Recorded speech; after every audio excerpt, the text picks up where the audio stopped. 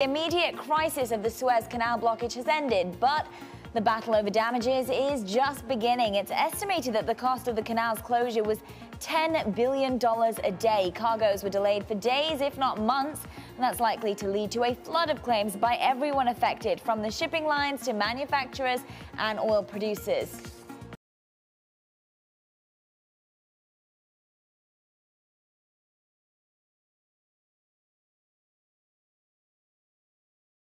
The biggest stories the moment they happen from around the globe. Subscribe to Bloomberg Quick Take now for insight in an instant.